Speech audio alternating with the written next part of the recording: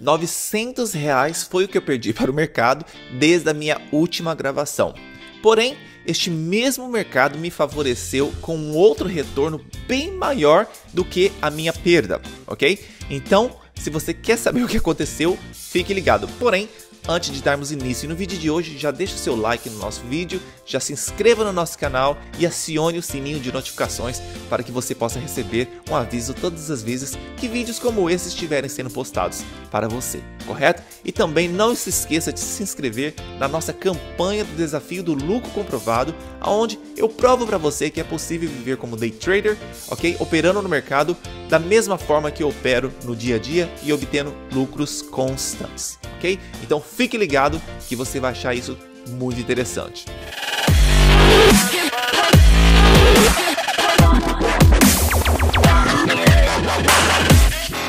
Hello Trader, seja bem-vindo mais uma vez. Will Santos falando aqui da SW Trading Academy London. Olha só, desde que eu fiz a gravação do meu último vídeo, da, dos meus ganhos de 10 mil reais no mercado, ah, começou a acontecer uma coisa bem interessante. Eu acabei é, perdendo aqui 900 reais para o mercado de ontem para hoje. Porém, tem duas coisas acontecendo ao mesmo tempo aqui que é bem interessante, eu gostaria de dividir isso com você.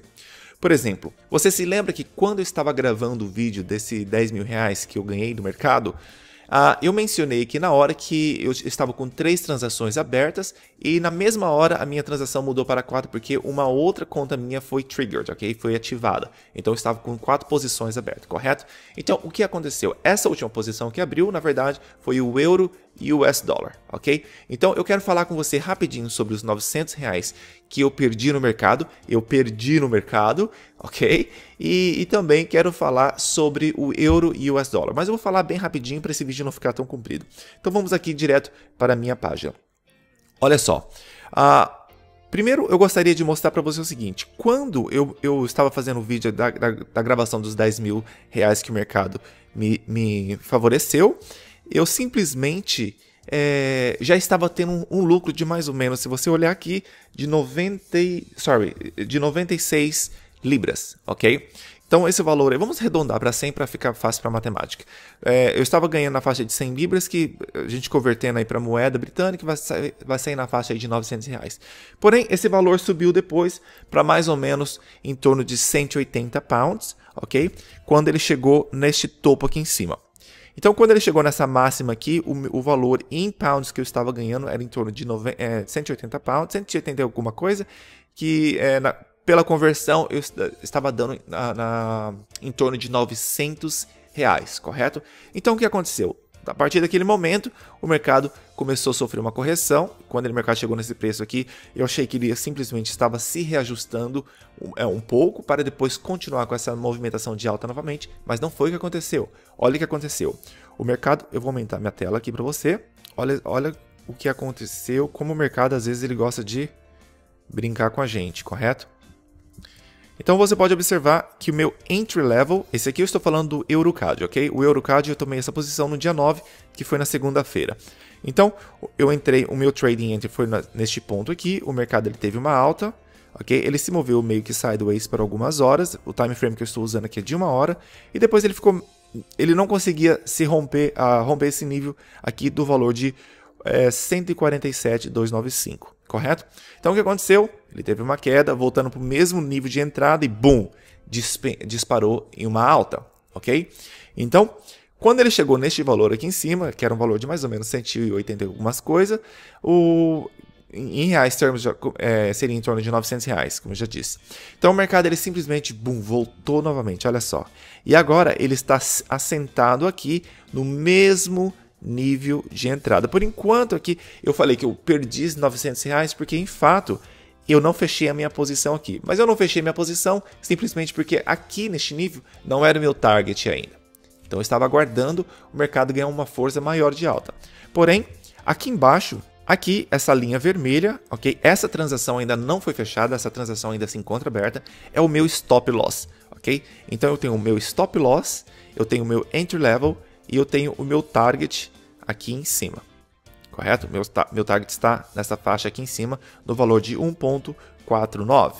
Então, o que aconteceu? O mercado simplesmente subiu, voltou literalmente para o mesmo nível que eu entrei. Então, os 900 reais que eu tinha ganhado até ontem, por enquanto voltou para a estaca zero, porque até um presente momento eu não perdi esse dinheiro em termos que esse dinheiro não chegou a sair da minha conta ainda, porque a minha conta, sim, minha transação, essa transação se encontra aberta, correto? Mas o motivo de eu, de eu ter feito, de eu estar fazendo esse vídeo é simplesmente para mostrar para você que fatos como esse acontecem, ok? Às vezes você está ganhando no mercado, ok? E de repente o mercado vem, bum, despenca e, e, e você acaba perdendo tudo aquilo que você já lucrou. Aqui, por enquanto, eu não perdi, entre aspas, eu não perdi nada, porque o mercado ele voltou para o mesmo nível de entrada, ok? Então aqui eu estou literalmente 0 a 0, ok? Então eu não perdi nada ainda, porque o que eu arrisquei para perder no mercado para este trading, olha só, o, o, o preço ainda não passou deste nível. Uma vez que o preço começar a cair deste nível, aí sim eu vou estar perdendo fisicamente, ok, o meu investimento, o, o dinheiro que eu investi para entrar nessa posição. Mas por que, que eu falei que eu estou perdendo 900 reais? Porque simplesmente eu perdi a chance de ter talvez fechado a minha transação aqui em cima, ok? E, e esse, esse dinheiro que eu já tinha ganho, ok? Esse retorno que eu já tinha ganho, eu perdi. A não ser que o mercado agora comece a ganhar uma, uma alta novamente, aí eu vou começar a recuperar essa, essa grana, esse dinheiro que eu já tinha investido.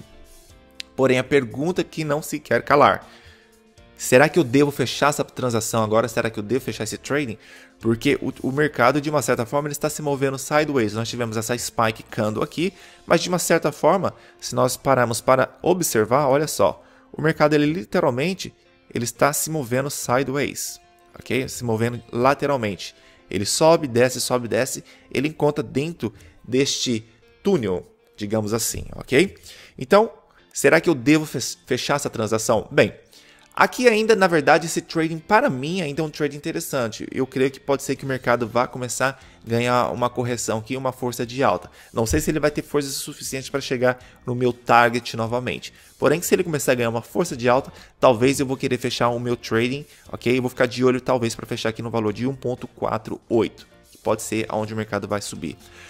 Porém, por, por ele ter feito isso, ok? Aqui está um, um dos truques que você precisa aprender pelo, pelo fato do mercado ter sofrido esta correção aqui, ok, voltada neste mesmo nível, o que eu vou fazer agora é simplesmente o seguinte: você está vendo meu stop loss aqui? O meu stop loss aqui, eu, eu devo subir ele, pelo menos, para colocar ele nesta área aqui embaixo. Então, olha só, eu tenho um valor aqui, é, um valor não, eu tenho um ponto aqui, na verdade, que esse ponto seria um ponto forte de suporte e resistência. Por quê? Porque o mercado ele veio, testou esse nível aqui e ele ficou assentado neste nível por, vários, por várias horas, ou provavelmente é, alguns dias, né? De, do dia 7 até o dia praticamente o dia no começo do dia 9, correto? Então, isso aqui é uma coisa para mim é, prestar atenção, porque pode ser que o mercado agora comece a sofrer uma correção é, de baixa novamente e começa a cair. Começa, na verdade, ele ultrapassa esse nível aqui e aí eu vou ser parado. E olha o que está acontecendo agora. Uma vela urso está sendo formada, ok? Mais pessoas estão vendendo e a partir deste momento, agora sim, eu estou perdendo dinheiro no mercado, correto? Porém, eu vou deixar a meu meu setup da forma que está agora, porque mesmo que eu perca essa transação, para mim não vai ter problema, porque eu já tive lucros em outras, então eu estou satisfeito. Agora, olha que interessante. Ontem, como eu mencionei, eu tinha acabado de entrar no euro e US dólar. Então, eu estou neste trade aqui por enquanto agora perdendo, mas olha o que aconteceu com o meu euro e US dólar. A minha transação foi aqui nessa seta que você está vendo, foi uma transação long, ok? Então, o meu entry level foi justamente nesse ponto. O que aconteceu? Eu vi o mercado sofrendo essa alta, ok? O mercado começou a sofrer essa alta e de repente o mercado ele. Deixa eu remover esses, essas, esses tools aqui para ficar mais fácil para você. Quando o mercado começou a sofrer esta alta, ok? Eu até mencionei isso para os meus alunos no webinar, que eu iria colocar o meu entry level, ok? Simplesmente neste nível aqui embaixo.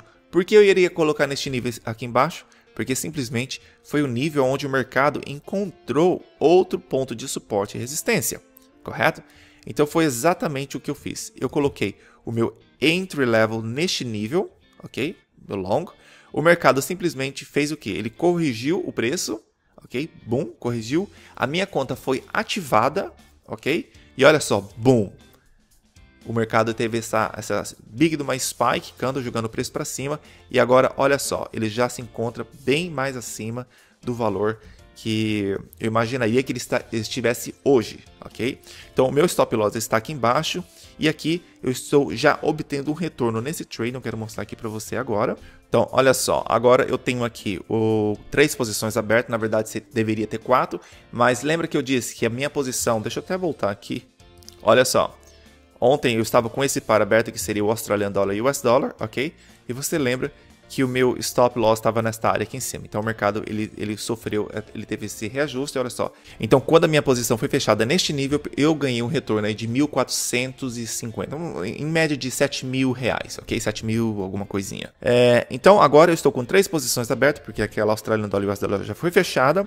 Então eu, no momento eu estou com o euro e US Dollar, US Dollar CAD e o Australian Dollar uh, New Zealand Dollar. Então, de ontem para hoje, olha só, de ontem para hoje, o mercado já me rendeu novamente 850, até o presente momento, 850, vamos colocar 850 pounds aqui.